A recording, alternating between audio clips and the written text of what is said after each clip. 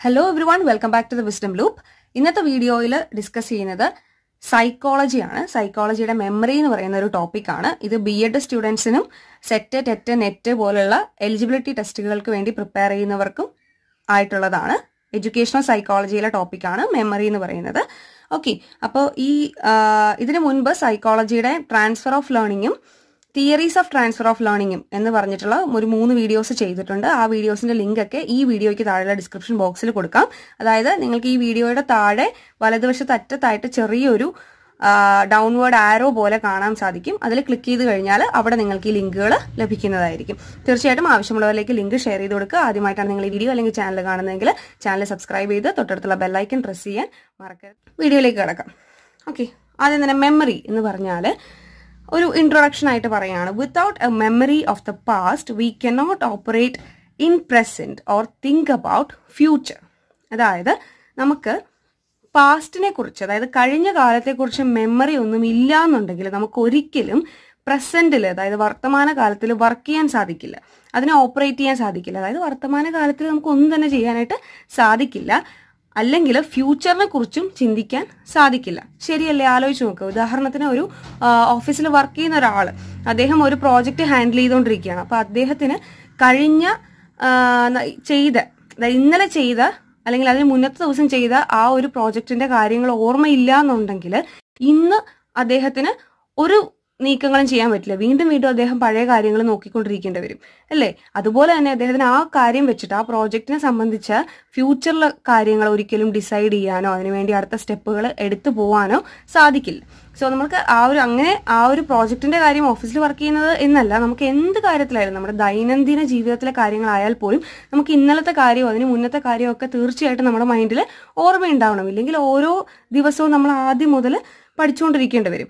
So without memory ഓർമ്മ എന്ന് പറയുന്ന ഒരു കാര്യം ഇല്ല എന്നുണ്ടെങ്കിൽ പാസ്റ്റിലെ കാര്യം നമുക്ക് അറിയില്ലായിരിക്കും. അങ്ങനെയാണെങ്കിൽ പ്രസന്റും ഫ്യൂച്ചറും നമുക്ക് ഭയങ്കര ഡിഫിക്കൽട്ടായിട്ട് മാറും. ഓക്കെ ഇനി മെമ്മറി എന്താണ്? What is memory memory is the power of a person to store experiences in his mind and reproduce them എന്താണ് മെമ്മറി എന്ന് ചോദിച്ചാൽ മെമ്മറി ഒരു വ്യക്തിയുടെ പവറാണ്. എന്തിനു വേണ്ടിയുള്ള പവർ അയാൾക്ക് നടന്ന എക്സ്പീരിയൻസസ് അല്ലെങ്കിൽ ഇൻഫർമേഷൻ അങ്ങനെയും പറയാം. എക്സ്പീരിയൻസസ് തന്നെയാണല്ലോ നമ്മൾ ഒരാളുടെ ജീവിതത്തിലെ എക്സ്പീരിയൻസസ് ആണ് നമ്മുടെ അറിവ് എന്ന് പറയുന്നത്. സോ അല്ലെങ്കിൽ ഇൻഫർമേഷൻ എന്ന് പറയുന്നത്. ആ ഇൻഫർമേഷനെ നമ്മുടെ മൈൻഡിൽ അല്ലെങ്കിൽ ബ്രെയിനിൽ സ്റ്റോർ ചെയ്ത് വെക്കാനും റീപ്രൊഡ്യൂസ് ചെയ്യാനുമുള്ള കഴിവിനെയാണ് മെമ്മറി എന്ന് പറയുന്നത്. ഇത് ഓരോരുത്തർക്കും ഓരോ തരത്തിലായിരിക്കും. ചിലർക്ക് ഭയങ്കര മെമ്മറി പവർ ഉണ്ടാവും ചിലർക്ക് കുറവായിരിക്കും. അപ്പോൾ അവരത് കൂട്ടാൻ വേണ്ടി വർക്ക് ചെയ്യും.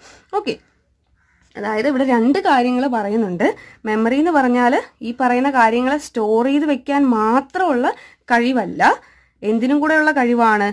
റീപ്രൊഡ്യൂസ് ചെയ്യാനും കൂടെയുള്ള കഴിവാണ്. റീപ്രൊഡ്യൂസ് ചെയ്യുക എന്ന് പറയുമ്പോൾ ഇവിടെ അർത്ഥമാക്കുന്നത് പുനർനിർമ്മിക്കുക. അതായത് നമ്മളൊരു കാര്യം നമ്മുടെ മൈൻഡിലും ബ്രെയിനിൽ സ്റ്റോർ ചെയ്ത് വെച്ച് കഴിഞ്ഞാൽ അത് അവിടെ തന്നെ ഇരിക്കുന്നത് കൊണ്ട് കാര്യമില്ല. പിറ്റേ ദിവസം അല്ലെങ്കിൽ അത് എപ്പോഴാണോ ആ ഒരു അറിവ് ആവശ്യമുള്ളത് അവിടെ നമുക്കത് പ്രയോഗിക്കാൻ സാധിക്കണം. അതിനെയാണ് ഇവിടെ റീപ്രൊഡ്യൂസ് ചെയ്യുക എന്ന് പറയുന്നത് കൊണ്ട് ഉദ്ദേശിക്കുന്നത്. അപ്പം നമ്മുടെ മൈൻഡിന് എക്സ്പീരിയൻസസിനെ അല്ലെങ്കിൽ ഇൻഫർമേഷനെ സ്റ്റോർ ചെയ്ത് വെക്കാനും റീപ്രൊഡ്യൂസ് ചെയ്യാനുള്ള കഴിവിനെയാണ് മെമ്മറി എന്ന് പറയുന്നത്. സ്റ്റോർ ചെയ്ത് വെക്കാൻ മാത്രമുള്ള കഴിവല്ല സ്റ്റോർ ചെയ്ത് വെക്കാനും റീപ്രൊഡ്യൂസ് ചെയ്യാനും ആവശ്യമുള്ള സമയത്ത് അതിനെടുത്ത് ഉപയോഗിക്കാനും പുനർനിർമ്മിക്കാനും ഒക്കെയുള്ള കഴിവിനെയാണ് മെമ്മറി എന്ന് പറയുന്നത്. ഇനി the information may be in the form of ഈ പറയുന്ന ഇൻഫർമേഷൻ നമുക്ക് രണ്ട് തരത്തിലുള്ളതാവാം. ഇമേജസുമാകാം സൗണ്ടുമാകാം ഓക്കെ നമ്മൾ ഈ മൈൻഡിൽ അല്ലെങ്കിൽ ബ്രെയിനിൽ സ്റ്റോർ ചെയ്ത് വെക്കുന്ന ഇൻഫർമേഷൻ എന്ന് പറയുന്നത് ചിത്രങ്ങളുടെ രൂപത്തിലുള്ളത്.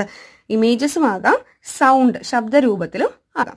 അത് നമുക്കറിയാലോ നമ്മൾ ചില കാര്യങ്ങൾ കേട്ടായിരിക്കും ഓർത്ത് വെക്കുക പഠിക്കുക അല്ലെങ്കിൽ കണ്ടിട്ട് ഇമേജസ് കണ്ടിട്ടായിരിക്കും നമ്മുടെ മൈൻഡിൽ അല്ലെ ബ്രെയിനിൽ അതിനെ സ്റ്റോർ ചെയ്ത് വെക്കുക.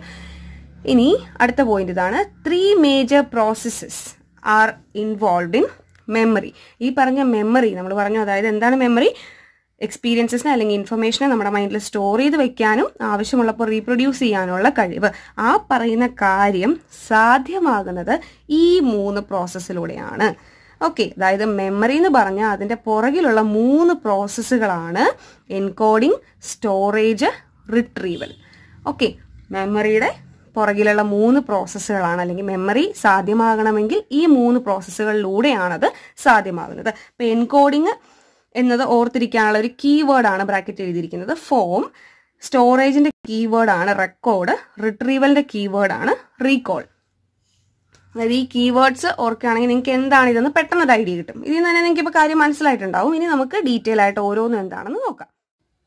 ഓക്കെ അപ്പോൾ ഒരു കാര്യം ഓർത്തിരിക്കാനുള്ള അല്ലെങ്കിൽ മെമ്മറി സാധ്യമാകുന്നതിലെ ആദ്യത്തെ പ്രോസസ്സാണ് എൻകോഡിംഗ് എന്ന് പറയുന്നത്. എൻകോഡിങ്ങിൽ നമ്മൾ ഓർത്തിരിക്കേണ്ട കീവേഡ് ഇതാണ് ഫോം അല്ലെങ്കിൽ കൺവേർട്ട് എന്ന് പറയുന്ന കീവേർഡും ഓർത്തിരിക്കാം. കാരണം ഇവിടെ നടക്കുന്ന ഒരു പ്രത്യേക തരത്തിലുള്ള കൺവേർഷൻ ആണ്. അത് നമ്മൾ എന്താണെന്ന് ഇപ്പോൾ പറയും? Okay our mind stores information in its own way and form നമ്മുടെ മൈൻഡ് ഇൻഫർമേഷനെ സ്റ്റോർ ചെയ്യുന്നത് ഒരു പ്രത്യേക രീതിയിലായിരിക്കും. അതായത് ഓരോ വ്യക്തിയും ഇൻഫർമേഷനെ ബ്രെയിനിലേക്ക് അല്ലെങ്കിൽ മൈൻഡിലേക്ക് സ്റ്റോർ ചെയ്ത് വെക്കുന്നത് ഓരോരോ തരത്തിലായിരിക്കും. അത് ചിലപ്പോൾ അവരവർക്ക് മാത്രമേ മനസ്സിലാവുള്ളൂ. അല്ലെങ്കിൽ അവർക്ക് മാത്രമേ ആ ഒരു രീതിയിൽ ഓർത്തിരിക്കാൻ സാധിക്കുള്ളൂ the form which each person can understand will differ according to the individual differences ഓരോ വ്യക്തികളും തീർച്ചയായി തീർച്ചയായിട്ടും വ്യത്യസ്തരാണ്. അതുപോലെ തന്നെ അവർ മെമ്മറിയിൽ ഈ പറയുന്ന ഇൻഫർമേഷൻ സ്റ്റോർ ചെയ്ത് വെക്കുന്ന രീതിയും വ്യത്യസ്തമായിട്ട് ആയിരിക്കും. അതായത് ചിലപ്പോൾ അത് സൗണ്ട് ആയിട്ടായിരിക്കും ചിലർ ഇമേജസ് ആയിട്ടായിരിക്കും ചിലർ എന്തെങ്കിലും സിമ്പലോ ഒക്കെ ആയിട്ടായിരിക്കും ഓർത്ത് വെക്കുന്നത്. പലർക്കും പല രീതിയിലായിരിക്കും സ്റ്റോർ ചെയ്ത് വെക്കാനുള്ള കഴിവെന്ന് പറയുന്നത്.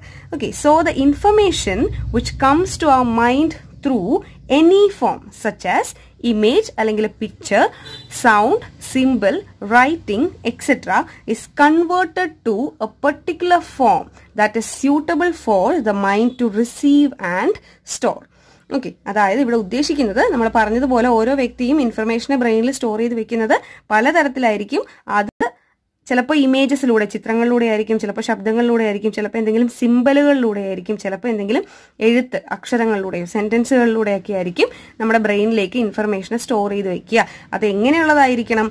അത് ഈ പറഞ്ഞതുപോലെ ഒരു ചിലരെ സൗണ്ട് ആയിട്ടായിരിക്കും കൺവേർട്ട് ചെയ്യുന്നത്. അപ്പൊ അയാളുടെ പെർട്ടിക്കുലർ ഫോം ഒരു പ്രത്യേക രൂപത്തിലുള്ള ചേഞ്ച് എന്ന് പറഞ്ഞാൽ എന്താ? സൗണ്ട് ആയിട്ടാണ് അയാൾ സ്റ്റോർ ചെയ്തത്. ഓക്കെ ചിലര് ഒരു കാര്യം കേട്ട് കഴിഞ്ഞാൽ അതിനെ പിക്ചറൈസ് ചെയ്യും വിഷ്വലാക്കി ഓർത്ത് ഇല്ലേ? ചിലത് പറയില്ല? ചില കുട്ടികൾ പറയും ഞാനത് സിനിമ പോലെ ഓർത്തു. ഈ ഒരു എന്താ ഫസ്റ്റ് വേൾഡ് വാർ അല്ലെങ്കിൽ സെക്കൻഡ് വേൾഡ് വാർ പഠിച്ചപ്പോൾ അതിന് ഞാനൊരു സിനിമ പോലെ എനിക്ക് ഇഷ്ടമുള്ള ഹീറോയും ആൾക്കാരും ഒക്കെ അഭിനയിച്ചതുപോലെയൊക്കെ ഞാൻ ഓർത്ത് വെച്ച് പഠിച്ചു. അപ്പം എന്താ അവ- അവനവിടെ വിഷ്വലൈസ് ചെയ്യാണ്. അങ്ങനെയാണ് അവൻ അത് ബ്രെയിനിലേക്ക് സ്റ്റോർ ചെയ്യുന്നത്. സോ ഓരോരുത്തരും അവർക്ക് ഓർത്തിരിക്കാനുള്ള പ്രത്യേക പെർട്ടിക്കുലർ ആയിട്ടുള്ള ഒരു ഫോമിലോട്ട് കൺവേർട്ട് ചെയ്യും. That is suitable for the mind to receive and store. അതായത് അങ്ങനെയായിരിക്കും അവരുടെ മൈൻഡിന് റിസീവ് ചെയ്യാൻ ഈ ഇൻഫർമേഷനെ റിസീവ് ചെയ്ത് വെക്കാൻ. എളുപ്പം അതുപോലെ തന്നെ മൈൻഡിൽ അത് കൃത്യമായിട്ട് സ്റ്റോർ ആവുകയും ചെയ്യും. This process of conversion is called encoding അതായത് ഈ ഒരു നമുക്ക് കേൾക്കുന്ന ഇൻഫർമേഷൻ അല്ലെങ്കിൽ ടീച്ചർ ക്ലാസ്സിൽ പഠിപ്പിക്കുന്ന ഇൻഫർമേഷൻ അല്ലെങ്കിൽ നമ്മൾ കാണുന്ന ഒരു കാര്യം എങ്ങനെയാണോ നമ്മുടെ മൈൻഡിൽ സ്റ്റോർ ചെയ്താൽ എളുപ്പത്തിൽ പിന്നീട് അത് ഓർത്തെടുക്കാൻ നമുക്ക് സാധിക്കുന്നത്. ആ ഒരു പ്രത്യേക രൂപത്തിൽ ആക്കി മാറ്റുന്ന പ്രക്രിയ അതായത് കൺവേർഷൻ അതിനെയാണ് നമ്മൾ എന്തെന്ന് വിളിക്കുന്നത്? എൻകോഡിങ് ഏതൊരു ഇൻഫർമേഷനെയും നമ്മൾക്ക് ഓരോ വ്യക്തിക്കും പിന്നീട് ഓർത്തിരിക്കാൻ പാകത്തിന് അല്ലെങ്കിൽ ഓർത്തെടുക്കാൻ പാകത്തിനുള്ള രൂപത്തിലേക്ക് മാറ്റി ബ്രെയിനിലേക്ക് സ്റ്റോർ ചെയ്യുന്ന പ്രക്രിയ. ആ കൺവേർഷൻ അവിടെ നടക്കുന്ന ആ ഒരു കൺവേർഷന്റെ പ്രക്രിയയാണ് നമ്മൾ എന്തെന്ന് വിളിക്കുന്നത്? എൻകോഡിംഗ് എന്ന് വിളിക്കുന്നത്. This encoding occurs in three ways നമ്മൾ ഈ പറഞ്ഞ എൻകോഡിംഗ് അതായത് കൺവേർഷൻ ഓഫ് ഇൻഫർമേഷൻ നടക്കുന്നത് മൂന്ന് ഡിഫറെന്റ് വേസിലാണ് അങ്ങനെയാണ് തരംതിരിച്ച് വെച്ചിരിക്കുന്നത്. ഒരുപാട് തരത്തിലുണ്ടാവും. പ്രധാനമായിട്ട് മൂന്നായിട്ട് സൈക്കോളജിസ്റ്റുകൾ തരംതിരിച്ചിട്ടുണ്ട് ഒന്ന് വിഷ്വൽ രണ്ടാമത്തത് അക്കോസ്റ്റിക് മൂന്നാമത്തത് സെമാന്റിക് ഓക്കെ അതായത് എൻകോഡിങ് അല്ലെങ്കിൽ കൺവേർട്ടിങ് അല്ലെങ്കിൽ changing of information occurs in three ways ഒന്നാമത്തത് വിഷ്വൽ അതായത് ഒരു കാര്യം ഒരാൾ കേട്ടു അല്ലെങ്കിൽ ഒരു കുട്ടി കേട്ടു പഠിക്കാനുള്ള ഒരു കാര്യം. അതിനെ അവനെ വിഷ്വൽ ആക്കുന്നു. പിക്ചർ ആക്കി അല്ലെങ്കിൽ ഇമേജ് പോലെ മനസ്സിൽ സങ്കല്പിച്ചിട്ട് ബ്രെയിനിലേക്ക് സ്റ്റോർ ചെയ്താൽ അത് വിഷ്വൽ എൻകോഡിംഗ് ഓക്കെ ഇനി ഒരു ഒരു ഇൻഫർമേഷൻ അതായത് ഒരു അറിവിനെ ഒരു കുട്ടി അല്ലെങ്കിൽ ഒരു വ്യക്തി എന്ത് ചെയ്യുന്നു? ശബ്ദവുമായിട്ട് ബന്ധിപ്പിക്കുന്നു. അതായത് അയാൾ തന്നെ ഇരുന്ന് വായിക്കുന്നു അല്ലെങ്കിൽ മനസ്സിലൊന്ന് പറഞ്ഞു നോക്കുന്നു അല്ലെങ്കിൽ എന്തെങ്കിലും ഒരു പാട്ടുമായിട്ട് കണക്ട് ചെയ്യുന്നു. അങ്ങനെ എന്തെങ്കിലുമൊക്കെ രീതിയിൽ ശബ്ദവുമായിട്ട് ബന്ധപ്പെടുത്തിയാണ് ബ്രെയിനിലേക്ക് സ്റ്റോർ ചെയ്യുന്നതെങ്കിൽ അതിനെ പറയും എക്കോസ്റ്റിക് എൻകോഡിംഗ് ഓക്കെ ഇനി സെമാന്റിക് എന്ന് പറഞ്ഞാൽ കുറച്ചും കൂടെ ഡീപ്പറാണ് അതായത് അദ്ദേഹം അല്ലെങ്കിൽ ആ ഒരു വ്യക്തി അല്ലെങ്കിൽ ഒരു കുട്ടി കാര്യം കേട്ട് പഠിക്കുമ്പോൾ അവൻ എന്താ ചെയ്യുന്നതെന്ന് വെച്ചാൽ അതിന്റെ അർത്ഥം പൂർണമായിട്ട് മനസ്സിലാക്കാൻ ശ്രമിക്കും. ഓറലായിട്ടും റിട്ടേൺ ആയിട്ടും ഉള്ള വേർഡ്സിന്റെയോ സെന്റൻസസിന്റെയോ ഒക്കെ മീനിങ് ഡീപ്പായിട്ട് അത് എന്താണ് എന്നുള്ളത് കൃത്യമായി മനസ്സിലാക്കി പഠിക്കാനായിട്ട് ശ്രമിക്കും. അല്ലെങ്കിൽ മനസ്സിലാക്കി ബ്രെയിനിൽ സ്റ്റോർ ചെയ്യും. അതാണ് സെമാന്റിക് എന്ന് പറയുന്നത്. ഇതിനൊരു ഉദാഹരണം ഞാൻ പറയാം. ഇപ്പോൾ ഒരു സ്കൂളിൽ പഠിക്കുന്ന ഒരു കുട്ടി ഹാർട്ടിനെ കുറിച്ച് പഠിക്കുകയാണ്. ഓക്കെ അപ്പോൾ ഹാർട്ടിനെ കുറിച്ച് ടീച്ചർ പഠിപ്പിക്കുമ്പോൾ ഫിഗർ ഒക്കെ വരച്ചിട്ടാണ് പഠിപ്പിക്കുന്നത്. ഡയഗ്രം ഒക്കെ വരച്ചു കാര്യങ്ങൾ പറയുന്നുണ്ട് അപ്പോൾ ആ പഠിപ്പിക്കുന്ന സമയത്ത് ഒരു കുട്ടി വിഷ്വലായിട്ട് ആ ഡയഗ്രം മാത്രമാണ് മനസ്സിലേക്ക് പതിപ്പിക്കുന്നതെങ്കിൽ അല്ലെങ്കിൽ ബ്രെയിനിലേക്ക് സ്റ്റോർ ചെയ്യുന്നതെങ്കിൽ അതിനെ വിഷ്വൽ എൻകോഡിംഗ് എന്ന് പറയും. ഓക്കെ ഇനി ആ ടീച്ചർ ഹാർട്ടിന്റെ ഫംഗ്ഷനിങ്ങിനെ കുറിച്ചൊക്കെ പറയുമല്ലോ അപ്പൊ ഹാർട്ടിന് എത്ര അറകളുണ്ട് ഓരോ വാൽവിന്റെയും ധർമ്മം എന്താണ് അങ്ങനെ അങ്ങനെ ഓരോ കാര്യങ്ങളും പറയുമ്പോൾ അവൻ അതിനെ സെന്റൻസുകളാക്കി. അതായത് പറയുന്ന കാര്യമാണ് ആ ശബ്ദത്തെയാണ് സ്റ്റോർ ചെയ്ത് വെക്കുന്നത് ബ്രെയിനിലെങ്കിൽ അതിനെ നമ്മൾ എക്വസ്റ്റിക് എൻകോഡിംഗ് എന്ന് പറയും. ഇനി മറ്റൊരു കുട്ടി എന്താ ചെയ്യുന്നതെന്ന് വെച്ചാൽ കൃത്യമായിട്ട് അതിന്റെ വർക്കിംഗ് മനസ്സിൽ കണ്ടുപഠിക്കുകയാണ്. എന്ന് വെച്ചാൽ ടീച്ചർ പറയുമ്പോൾ ആ ഫിഗറും ശ്രദ്ധിക്കുന്നുണ്ട് ടീച്ചർ പറയുന്ന കാര്യങ്ങളും ശ്രദ്ധിക്കുന്നുണ്ട് സ്വന്തം ബോഡിയിൽ ഹാർട്ട് ഉണ്ട് അപ്പൊ അതെങ്ങനെയാണ് വർക്ക് ചെയ്യുന്നതെന്ന് കൃത്യമായിട്ട് മനസ്സിലാക്കുന്നു. അതായത് ആ വാൽവൊക്കെ തനിക്കുണ്ട് തന്റെ ഹാർട്ടിലുണ്ട് അപ്പൊ അത് ഓരോന്ന് എങ്ങനെ പ്രവർത്തിക്കുന്നത് ശ്വാസം എടുക്കുമ്പോൾ എന്ത് സംഭവിക്കുന്നു അങ്ങനെ അങ്ങനെ ശ്വാസം പുറത്തേക്ക് വിടുമ്പോൾ എന്ത് സംഭവിക്കുന്നു ബ്ലഡ് ബോഡിയിൽ എങ്ങനെയൊക്കെയാണ് ഫ്ലോ ചെയ്യുന്നത് എന്നുള്ള കാര്യം മുഴുവൻ അവനൊന്ന് മനസ്സിലാക്കി കുറച്ചും കൂടെ ഡീപ്പായിട്ട് മനസ്സിലാക്കിയാണ് ബ്രെയിനിലേക്ക് സ്റ്റോർ ചെയ്യുന്നതെങ്കിൽ അതിനെയാണ് നമ്മൾ എന്തെന്ന് പറയുന്നത്? സെമാന്റിക് എൻകോഡിംഗ് ഓക്കെ നിങ്ങൾക്കത് മനസ്സിലായി എന്ന് വിശ്വസിക്കുന്നു. ഇനി രണ്ടാമത്തെ പ്രോസസ്സാണ് സ്റ്റോറേജ് എന്ന് പറയുന്നത്. ഇവിടെ ഓർത്തിരിക്കേണ്ട കീവേഡ് ആണ് റെക്കോർഡ് സ്റ്റോറേജ് മീൻസ് റെക്കോർഡ് ആണ്. ഓക്കെ കീവേഡ് ഓർത്തിരിക്കുക. It is the record of the encoded information നമ്മൾ പറഞ്ഞു ഫസ്റ്റ് സ്റ്റെപ്പിൽ എൻകോഡിങ്ങിൽ എന്താ ചെയ്തത്? എൻകോഡിങ്ങിൽ നമ്മൾ ചെയ്തത് എന്താന്ന് ചോദിച്ചു കഴിഞ്ഞാൽ നമ്മൾക്ക് ഏത് ഇൻഫർമേഷൻ ആണോ സ്റ്റോർ ചെയ്യേണ്ടത് ആ ഇൻഫർമേഷനെ നമ്മൾ എന്ത് ചെയ്തു? നമ്മുടെ ബ്രെയിൻ ഓർത്തിരിക്കാൻ പാകത്തിനുള്ള ഒരു ഫോമിലേക്ക് ഒരു പ്രത്യേക രീതിയിലേക്ക് കൺവേർട്ട് ചെയ്തു. അല്ലേ? അത് എൻകോഡിങ് ഇനി കൺവേർഷൻ കഴിഞ്ഞു. ഇനി അടുത്ത് എന്ത് ചെയ്യണം? നമ്മുടെ ബ്രെയിനിലേക്ക് അതിനെ സ്റ്റോർ ചെയ്ത് നമ്മൾ വെക്കണം. അതായത് നമ്മുടെ ബ്രെയിനിൽ ഒരു റെക്കോർഡ് കീപ്പ് ചെയ്യണം ആ ഇൻഫർമേഷന്റെ ആ ഒരു പ്രോസസ്സിനെയാണ് ആ ഒരു സ്റ്റേജിനെയാണ് നമ്മൾ എന്തെന്ന് വിളിക്കുന്നത് സ്റ്റോറേജ് നമ്മൾ കൺവേർട്ട് ചെയ്ത ഇൻഫർമേഷനെ നമ്മുടെ ബ്രെയിനിൽ സ്റ്റോർ ചെയ്ത് ഒരു റെക്കോർഡാക്കി അങ്ങ് സൂക്ഷിക്കുന്നു. Okay it is the record of the encode information The way or method by which we store information influences the way we retrieve it. അതായത് നമ്മൾ ഏത് തരത്തിലാണോ ഇൻഫർമേഷനെ നമ്മുടെ ബ്രെയിനിലേക്ക് സ്റ്റോർ ചെയ്ത് വെക്കുന്നത് അത് നമ്മൾ ആ ഇൻഫർമേഷനെ പിന്നീട് റിട്രീവ് ചെയ്യുന്നതിനെ അഫക്റ്റ് ചെയ്യും അല്ലെങ്കിൽ ബാധിക്കും റിട്രീവ് ചെയ്യുക എന്ന് വെച്ചാൽ റീകോൾ ചെയ്യുക ഓർത്തെടുക്കുക. ഓക്കെ അപ്പോൾ നമ്മൾ ഏത് രൂപത്തിലാണോ നമ്മൾക്ക് ഓർക്കാൻ പാകത്തിന് ഉള്ള രൂപത്തിലായിരിക്കും നമ്മൾ എന്തായാലും ഇൻഫർമേഷൻ സ്റ്റോർ ചെയ്ത് വെക്കുന്നത്. അത് എത്രത്തോളം സ്ട്രോങ് ആയിട്ട് നല്ല രീതിയിലാണോ ചെയ്ത് വെക്കുന്നത് അത്രത്തോളം നല്ല രീതിയിൽ നമുക്ക് ആ ഇൻഫർമേഷൻ എന്ത് ചെയ്യാൻ സാധിക്കും റിട്രീവ് ചെയ്തെടുക്കാനും സാധിക്കും. നമ്മൾ അത്ര നന്നായിട്ടല്ല ഇൻഫർമേഷൻ സ്റ്റോർ ചെയ്യുന്നത് എന്നുണ്ടെങ്കിൽ നമുക്കത് റീകോൾ ചെയ്തെടുക്കാൻ അല്ലെങ്കിൽ മൈൻഡിൽ നിന്ന് റിട്രീവ് ചെയ്യുക. അതായത് ഓർത്തെടുക്കുക പുറത്തേക്ക് എടുക്കുക. അങ്ങനെ എടുക്കുന്ന പ്രോസസ്സ് കുറച്ച് ഡിഫിക്കൽട്ടായി മാറും. Next point here the information is stored or maintained in a three stage process അതായത് സ്റ്റോറേജ് എന്ന് പറയുന്ന സ്റ്റെപ്പിൽ ഇൻഫർമേഷൻ ബ്രെയിനിലേക്ക് സ്റ്റോർ ചെയ്ത് വെക്കുന്നത് ഈ മൂന്ന് സ്റ്റേജ് പ്രോസസ്സിലൂടെ ആവാം. Sensory memory short term memory അല്ലെങ്കിൽ ലോങ് ടേം മെമ്മറി ഓക്കെ അത് എന്താണ്? ഈ ഓരോന്നും എന്താണെന്ന് നമുക്ക് ഡീറ്റെയിൽ ആയിട്ട് അടുത്ത വീഡിയോയിൽ നോക്കാം. ഓക്കെ അടുത്ത വീഡിയോ നെക്സ്റ്റ് വീഡിയോ എന്ന് പറയുന്നത് ടൈപ്സ് ഓഫ് മെമ്മറി ആയിരിക്കും. അതിൽ ഇത് ഓരോന്നും ഡിസ്കസ് ചെയ്യാം. ജസ്റ്റ് ഒന്ന് ഇത് എന്താന്ന് പെട്ടെന്ന് മനസ്സിലാക്കാൻ പാകത്തിന് പറഞ്ഞുതരാം. അതായത് സെൻസറി മെമ്മറി വാക്ക് കേൾക്കുമ്പോൾ തന്നെ നിങ്ങൾക്ക് മനസ്സിലാവും നമ്മൾ സെൻസസിലൂടെ നമുക്കുണ്ടാവുന്ന മെമ്മറി ഓക്കെ നമ്മൾ കണ്ടും കേട്ടും തൊട്ടും ഒക്കെ നമുക്കുണ്ടാവുന്ന മെമ്മറി ഷോർട്ട് ടേം മെമ്മറി എന്ന് പറയുമ്പോൾ കുറച്ച് കാലത്തേക്ക് മാത്രം നമുക്ക് അല്ലെങ്കിൽ കുറച്ച് നേരത്തേക്ക് മാത്രം ഓർത്തിരിക്കാൻ സാധിക്കുന്ന type memory long term memory എന്ന് പറയുമ്പോൾ എന്താണ്? ഒരുപാട് കാലം നമ്മുടെ ഓർമ്മയിൽ ഉണ്ടാവുന്ന ടൈപ്പ് മെമ്മറി ഓക്കെ അപ്പൊ ഈ മൂന്ന് തരത്തിലായിരിക്കും നമ്മൾ എന്ത് ചെയ്യുക?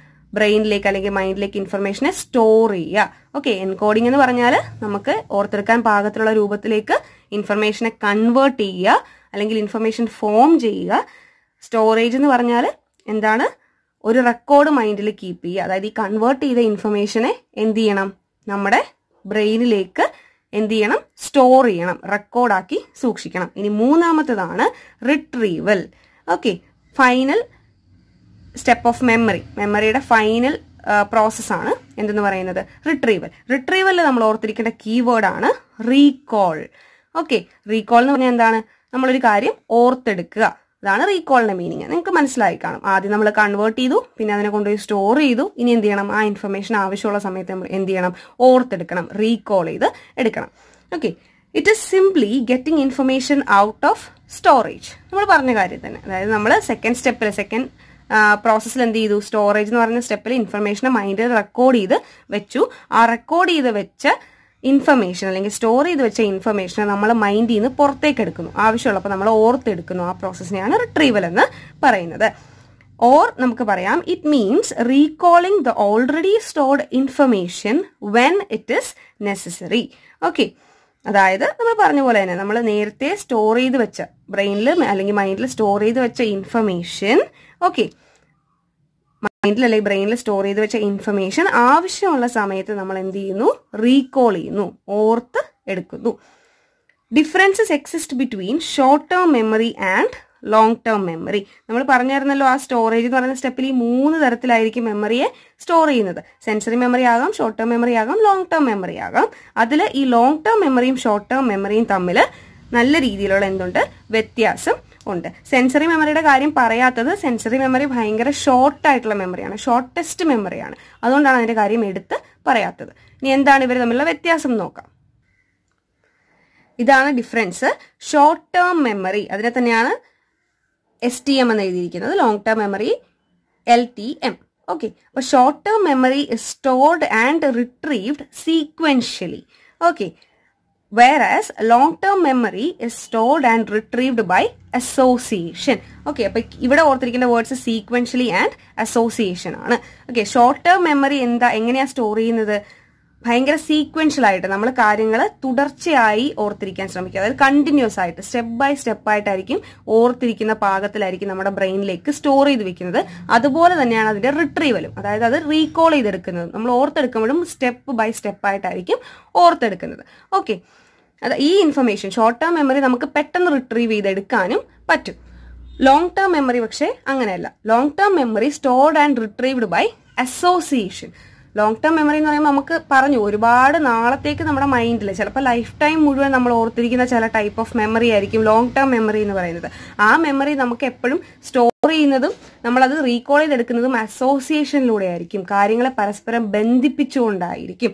ഓക്കെ അതാണ് അവർ തമ്മിലുള്ള ഡിഫറൻസ് കാര്യം മനസ്സിലായെന്ന് വിചാരിക്കും. ഇപ്പൊ സീക്വൻസ് ഈ ഷോർട്ട് ടേം മെമ്മറി എന്ന് പറയുമ്പോൾ നമ്മൾ എന്തെങ്കിലും ഒരു പ്രൊസീജിയർ ഒരു കാര്യം ചെയ്യുന്നതിന്റെ പ്രൊസീജിയർ സ്റ്റെപ്പ് ബൈ സ്റ്റെപ്പ് ആയിട്ടായിരിക്കും നമ്മൾ ഓർത്തിരിക്കുന്നത്. അതുപോലെ തന്നെ റിട്രീവ് ചെയ്യുമ്പോഴും നമ്മളത് സ്റ്റെപ്പ് ബൈ സ്റ്റെപ്പ് ആയിട്ടായിരിക്കും ചെയ്യേണ്ട കാര്യം ഓർത്തെടുക്കുന്നത്. ലോങ് ടേം മെമ്മറി അങ്ങനെയല്ല. നമ്മൾ തമ്മിൽ തമ്മിൽ കണക്ട് ചെയ്ത് നമ്മുടെ ജീവിതത്തിൽ എന്തെങ്കിലും ഇവന്റ്സ് അങ്ങനെയുള്ള കാര്യങ്ങൾ. നമ്മൾ ബന്ധുക്കൾ ബന്ധുക്കളുടെ കാര്യങ്ങൾ നമ്മുടെ ഫാമിലിയുടെ ഉള്ളിലെ കാര്യങ്ങൾ നമ്മുടെ മെമ്മറീസ് ഓക്കെ അതൊക്കെ നമ്മൾ അസോസിയേറ്റ് ചെയ്തിട്ടാണ് ഓർത്തിരിക്കുക. അതാണ് ലോങ് ടേം മെമ്മറി ഇതാണ് ഇവർ തമ്മിൽ രണ്ടുപേര് തമ്മിലുള്ള സ്റ്റോറേജിലുള്ള വ്യത്യാസം. ഓക്കെ അപ്പോൾ ഷോർട്ട് ടേം മെമ്മറി ഞാൻ പറഞ്ഞതുപോലെ ചിലപ്പോൾ റിട്രീവ് ചെയ്യാൻ എളുപ്പമാണ്. ക്വിക്ലി റിട്രീവ് ചെയ്തെടുക്കാൻ നമുക്ക് പറ്റും. പക്ഷേ ലോങ് ടേം മെമ്മറി ചിലതൊക്കെ നമുക്ക് വേഗത്തിൽ ഓർത്തെടുക്കാൻ സാധിക്കും. ചില കാര്യങ്ങൾ കുറച്ച് ഡിഫിക്കൽട്ട് ആയിരിക്കും. ഓർത്തെടുക്കും. പക്ഷേ ചില കുറച്ച് ഡിഫിക്കൽട്ട് ആയിട്ട് വന്നേക്കാം. ചില മെമ്മറീസ് അല്ലെങ്കിൽ ചില ഇൻഫർമേഷൻ സ്റ്റോർ ചെയ്ത് വെച്ചിരിക്കുന്നത് റിട്രീവ് ചെയ്യുമ്പോൾ നമുക്ക് കുറച്ച് ഡിഫിക്കൽട്ടീസ് ഉണ്ടാവാം. ഓക്കെ കാരണം അത് പ്രോപ്പറായിട്ട് സ്റ്റോർ ചെയ്യാത്തത് കൊണ്ടാവാം. Okay proper organization of information in the mind facilitates retrieval ഇപ്പോൾ പറഞ്ഞ കാര്യം തന്നെ. അതായത് നമ്മൾ ഇൻഫർമേഷനെ ബ്രെയിനിലേക്ക് എൻകോഡ് ചെയ്യുമ്പോഴും സ്റ്റോർ ചെയ്ത് വെക്കുമ്പോഴും ഒക്കെ അതിനൊരു പ്രോപ്പർ ഓർഗനൈസേഷൻ മസ്റ്റാണ് ആ പ്രോപ്പർ ആയിട്ടുള്ള ഓർഗനൈസേഷൻ ഉണ്ടെങ്കിൽ റിട്രീവൽ എളുപ്പമാകും. റിട്രീവൽ എന്ന് പറഞ്ഞാൽ നമ്മൾ ഓർത്തെടുക്കുന്നത് റീകോളിംഗ് എളുപ്പമാകും. ഇനി പ്രോപ്പർ ആയിട്ടുള്ള ഓർഗനൈസേഷൻ ഇല്ല എന്നുണ്ടെങ്കിൽ എവിടെയെങ്കിലും ഒരു മിസ്സിങ് വന്നിട്ടുണ്ട്. ഈ പറയുന്ന ഇൻഫർമേഷൻ സ്റ്റോർ ചെയ്യുന്ന സമയത്ത് നമ്മളൊരു കാര്യം മനസ്സിലായില്ല. ആ അത് പോട്ടെ എന്ന് പറഞ്ഞിട്ട് അടുത്ത സ്റ്റെപ്പാണ് ഓർത്തിരുന്ന് ഓർത്ത് വെച്ചതെങ്കിൽ ആ ഒരു റിട്രീവലും കുറച്ച് പാടായിരിക്കും നമുക്ക്. അതുകൊണ്ടാണ് പഠിക്കുമ്പോഴൊക്കെ നമ്മൾ എല്ലാ കാര്യവും കാണാതെ പഠിക്കാതെ മനസ്സിലാക്കി പഠിക്കണം എന്ന് പറയുന്നത്. കാണാതെ പഠിക്കുമ്പോൾ നമ്മൾ ആ സെന്റൻസസ് പറഞ്ഞു പറഞ്ഞ് നമ്മുടെ തലയ്ക്കകത്ത് ഇങ്ങനെ കയറ്റി വെക്കുകയാണ്. അതുകൊണ്ട് തന്നെ അത് നമുക്ക് മറന്നു പോകാനുള്ള ചാൻസ് കൂടുതലാണ്. പക്ഷെ കാര്യം മനസ്സിലാക്കിയാണ് പഠിക്കുന്നതെങ്കിൽ നമുക്കത് മറന്നു പോവില്ല. നമ്മുടേതായ സെന്റൻസിലാണെങ്കിലും നമുക്കതിനെ എന്ത് ചെയ്യാം? വീണ്ടും ഓർത്തെടുക്കാനും എഴുതിയെടുക്കാനും ഒക്കെ സാധിക്കും. ഇപ്പൊ ഞാൻ നേരത്തെ പറഞ്ഞതുപോലെ ഹാർട്ടിന്റെ ഫംഗ്ഷനിങ് ഒരാൾ പഠിക്കുന്നു. ഒരാൾ ബുക്കിൽ എഴുതി തന്നിരിക്കുന്ന പത്ത് സെന്റൻസ് ഒരു കുട്ടി കാണാതെ പഠിക്കുകയാണ്. അപ്പൊ അവനത് സൗണ്ടായിട്ട് സ്റ്റോർ ചെയ്യുന്നുണ്ട്. കുറച്ച് നാളത്തേക്ക് ഉറപ്പായിട്ട് അവനത് ഓർമ്മ കാണും. കാരണം അവൻ കുറേ വട്ടം പറഞ്ഞ് പറഞ്ഞ് പറഞ്ഞ് കാണാതെ പഠിച്ചു വെച്ചതാ. പക്ഷെ വർഷങ്ങൾ കഴിയുമ്പോൾ അവനോട് കാര്യം ചോദിച്ചാൽ ചിലപ്പോൾ അത് ഓർമ്മ കാണില്ല. പക്ഷെ വേറൊരാൾ ആ ഫംഗ്ഷനിങ് മനസ്സിലാക്കി. എനിക്ക് ഈ പറഞ്ഞ പോലെ എനിക്ക് ഹാർട്ടുണ്ട് എന്റെ വീട്ടിലുള്ളവർക്കൊക്കെ ഹാർട്ടുണ്ട് അതെങ്ങനെയാണ് വർക്ക് ചെയ്യുന്നതെന്നൊക്കെ കൃത്യമായിട്ട് ഡീപ്പായിട്ട് കുറച്ചുകൂടെ മനസ്സിലാക്കിയാണ് പഠിക്കുന്നതെങ്കിൽ അവനെ ചിലപ്പോൾ ആ ടീച്ചർ എഴുതി കൊടുത്ത പത്ത് സെൻസ് അതേപോലെ പറയാൻ അറിയില്ലായിരിക്കും. പക്ഷേ കാര്യം അവൻ മനസ്സിലാക്കി വെച്ചിട്ടുണ്ട്. അപ്പൊ അവന്റെതായ രീതിയിൽ അവന്റെതായ വാക്കുകളിലോ വാക്യങ്ങളിലോ ഒക്കെ അവനത് എന്ത് ചെയ്യാൻ പറ്റും? ഓർത്തെടുത്ത് പുറത്തേക്ക് കൊണ്ടുവരാനായിട്ട് സാധിക്കും. So proper organisation of information എത്രത്തോളം കൂടുതലുണ്ടോ റിട്രീവൽ റേറ്റും അല്ലെങ്കിൽ റിട്രീവ് ചെയ്യാനുള്ള ചാൻസസും കൂടുതലായിരിക്കും. പ്രോപ്പർ ഓർഗനൈസേഷൻ ഓഫ് ഇൻഫർമേഷൻ കുറവാണെന്നുണ്ടെങ്കിൽ റിട്രീവലിനുള്ള ചാൻസസും കുറവായിരിക്കും. ഓർത്തെടുക്കാനുള്ള ചാൻസുകളും കുറവായിരിക്കും. ഓക്കെ അവസാനമായിട്ട് ഇതിനെക്കുറിച്ച് പറയാനുള്ള ഒരു കാര്യമാണ്. If we can't remember something it may be because we are unable to retrieve it അതായത് നമുക്കിപ്പോൾ എന്തെങ്കിലും ഒരു കാര്യം ഓർത്തെടുക്കാൻ സാധിക്കുന്നില്ല എന്നുണ്ടെങ്കിൽ അവിടെ നമുക്ക് സ്റ്റോർ ചെയ്ത് വെച്ചതിലുള്ള ഒരു പാകപ്പിഴവ് കൊണ്ടാകാം. ഇതിനർത്ഥം എന്താന്ന് ചോദിച്ചാൽ നമുക്ക് അത് എന്ത് ചെയ്യാൻ പറ്റുന്നില്ല? റിട്രീവ് ചെയ്യാൻ പറ്റുന്നില്ല. റീകോൾ ചെയ്യാൻ പറ്റുന്നില്ല. അതായത് ഫസ്റ്റ് സ്റ്റെപ്പും കുഴപ്പമില്ല. എൻകോഡിങ്ങും നന്നായിട്ട് ചെയ്തു. അല്ലെങ്കിൽ സ്റ്റോറേജും കുഴപ്പമില്ലാതെ ചെയ്തു. പെർഫെക്റ്റ് ആയിട്ട് ചെയ്തിരുന്നെങ്കിൽ നമുക്ക് എന്ത് ചെയ്യായിരുന്നു? പെർഫെക്റ്റ് ആയിട്ട് അത് റീകോൾ ചെയ്തെടുക്കായിരുന്നു. പക്ഷേ എവിടെയോ ഒരു ചെറിയ മിസ്റ്റേക്ക് പറ്റുന്നതുകൊണ്ടാണ് സ്റ്റോറേജിലോ എൻകോഡിങ്ങിലോ ഒരു ചെറിയ മിസ്റ്റേക്ക് പറ്റുന്നതുകൊണ്ടാണ് എന്ത് ചെയ്യാൻ പറ്റാത്തത് അതിനെ റിട്രീവ് ചെയ്തെടുക്കാൻ പറ്റുന്നത്. അപ്പം മെമ്മറി ലോസ് ഒക്കെ അല്ലെങ്കിൽ മറന്നുപോയി. മെമ്മറി ലോസ് എല്ലാം നമ്മൾ മറന്നുപോയി ഒരു കാര്യം എന്നൊക്കെ പറയുമ്പോൾ ശരിക്കും അതിന്റെ പിന്നിലുള്ള യഥാർത്ഥമായിട്ടുള്ള ഫാക്ട് ഇതാണ്. ഓക്കെ ആ മൂന്ന് സ്റ്റെപ്പിൽ എവിടെയോ ഒരു രണ്ട് സ്റ്റെപ്പുകളിൽ എവിടെയോ ഒരു പ്രശ്നം പറ്റിയിട്ടുണ്ട്. കാരണം മൂന്നാമത്തെ സ്റ്റെപ്പാണ് എന്ത്? റിട്രീവൽ ഓക്കെ അപ്പോൾ ഈ പറഞ്ഞിരിക്കുന്ന പോലെ എഴുതിയിരിക്കുന്ന പോലെ നമ്മൾ ഇൻഫർമേഷൻ സ്റ്റോർ ചെയ്തിട്ടുണ്ടാവാം പക്ഷേ റിട്രീവ് ചെയ്യാനായിട്ട് സാധിച്ചു എന്ന് വരത്തില്ല. അതെന്താണ്? സ്റ്റോർ ചെയ്തതിൽ അല്ലെങ്കിൽ നമുക്ക് ഓർത്തെടുക്കാൻ പാകത്തിന് സ്റ്റോർ ചെയ്ത് വെക്കണമല്ലോ. അവിടെ പറ്റിയ എന്തോ ഒരു മിസ്റ്റേക്ക് ആവാം. ഓക്കെ അപ്പം ഞാൻ പറഞ്ഞ ആദ്യം പറഞ്ഞ കീവേഡ്സ് ഒന്നുകൂടെ ഓർമ്മപ്പെടുത്തുകയാണ്. എൻകോഡിങ്ങിൽ ഓർത്തിരിക്കേണ്ട കീവേഡ് ഫോം ഓർ കൺവേർഷൻ സ്റ്റോറേജിൽ ഓർത്തിരിക്കേണ്ട കീവേഡ് റെക്കോർഡ് റിട്രീവലിൽ ഓർത്തിരിക്കേണ്ട കീവേഡ് റീകോൾ ഓക്കെ നേരത്തെ പറഞ്ഞതുപോലെ ഒന്നുകൂടെ ആ പോയിന്റ് ഓർമ്മിപ്പിക്കുകയാണ്.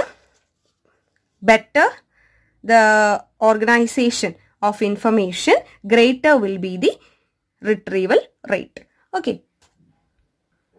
അപ്പോൾ ഇന്ന് നമ്മൾ ഡിസ്കസ് ചെയ്ത മെമ്മറി എന്ന് പറയുന്ന ടോപ്പിക്ക് നിങ്ങൾക്ക് ക്ലിയർ ആയി എന്ന് വിശ്വസിക്കുന്നു. അപ്പോൾ മെമ്മറി എന്ന് പറഞ്ഞാൽ നമ്മൾ ഓർക്കേണ്ട കാര്യമാണ്. ഇൻഫർമേഷനെ ഒരു വ്യക്തി സ്റ്റോർ ചെയ്ത് വെക്കുന്നതും അത് റീപ്രൊഡ്യൂസ് ചെയ്യുന്നതും. രണ്ട് കാര്യങ്ങളെയും കൂടെ ചേർത്താണ് മെമ്മറി എന്ന് പറയുന്നത്. അത് ഇൻവോൾവ് ആയിരിക്കുന്ന മൂന്ന് സ്റ്റെപ്പുകളാണ് encoding storage and retrieval okay ഈ ടോപ്പിക്ക് റിക്വസ്റ്റ് ചെയ്തിരുന്നത് പ്രദീപ് കുമാർ എന്ന് പറയുന്ന വ്യക്തിയാണ്. അപ്പൊ അദ്ദേഹത്തിന് അദ്ദേഹത്തിനും ഫ്രണ്ട്സിനും വേണ്ടിയിട്ടാണ് ചോദിച്ചത്. നിങ്ങൾക്ക് ഈ video so mister Pradeep Kumar and his friends, if you people are watching this video, thank you so much for your support and I really hope the notes were helpful for you. I'll upload videos on the rest of the topics you asked for as soon as possible. So, uh, good luck for your examinations and thank you so much for watching this video.